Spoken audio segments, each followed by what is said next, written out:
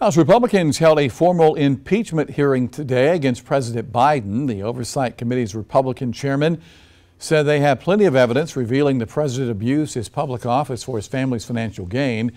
But witnesses testifying they don't see any hard evidence just yet of impeachable offenses.